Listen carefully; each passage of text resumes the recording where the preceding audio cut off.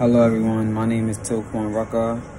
Um, I just want to start off by thanking the BCC athletic department, uh, my coaches, also my team for standing by me uh, for these last two years of junior college. Also, um, I would like to mention how I earned um, the Most Valuable Player Award for the Bronx Community College this year, and also the Men's Athlete of the Year. I appreciate y'all. Thanks.